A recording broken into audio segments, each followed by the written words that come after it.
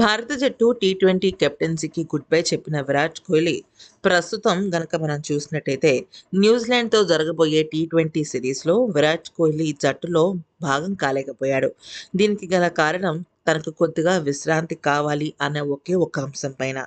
గత ఆరు నెలల పాటు నిర్విరామంగా ఎటువంటి బ్రేక్ కూడా లేకుండా కంటిన్యూస్గా క్రికెట్ మ్యాచెస్ ఆడడంతో ఆటగాళ్ళ మైండ్ సెట్ కూడా మారిపోయిందని అందుకనే తగు మంచి ఫలితాలు రాబట్టలేకపోతున్నాము అని చెప్పడం జరిగింది. కాకపోతే ఇక్కడ ఇంకొక పెద్ద నిర్ణయం తీసుకున్నాడు విరాట్ కోహ్లీ. తీరిక లేని షెడ్యూల్ టీ ట్వంటీ ప్రపంచ కప్లో టీం దారుణ వైఫల్యంతో తీవ్ర మానసిక ఒత్తిడికి గురైన టీమిండియా కెప్టెన్ విరాట్ కోహ్లీ ఆటకు లాంగ్ బ్రేక్ ఇవ్వనున్నాడు. మానసిక ప్రశాంతత కోసం కొంతకాలం క్రికెట్కు దూరంగా ఉండి కుటుంబంతో కలిసి గడపాలని కోహ్లీ నిర్ణయించుకున్నట్లు తెలుస్తోంది. అయితే బీసీసీఐను లాంగ్ లీవ్ కావాలని కోరాడంట.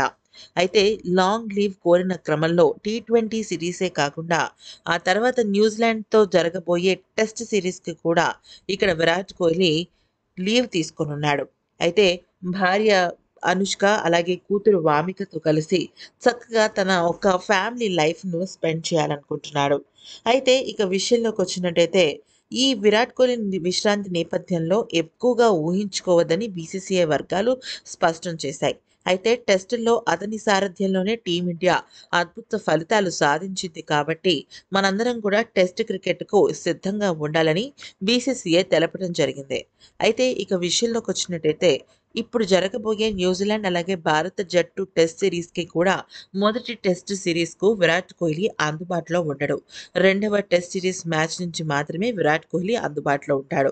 నిజానికి టీ ట్వంటీ సిరీస్లో ఆఖరిలో అంటే టీ ట్వంటీ సిరీస్ ముగిసిన రోజునే తిరిగి మళ్ళీ బయోబబుల్లో జాయిన్ అవ్వాల్సిన కోహ్లీ ఆ తర్వాత మళ్ళీ లాంగ్ గ్యాప్ తర్వాత మళ్ళీ మొదటి టెస్ట్ సిరీస్ పూర్తయిన తర్వాత మాత్రమే జట్టులోకి వచ్చే అవకాశాలు కనిపిస్తున్నాయి. దీనికి గల కారణం తను తీవ్రమైన ఒత్తిడికి లోనయ్యాడు అని ఇంతకు మునిపే పలుసార్లు చెప్పటం.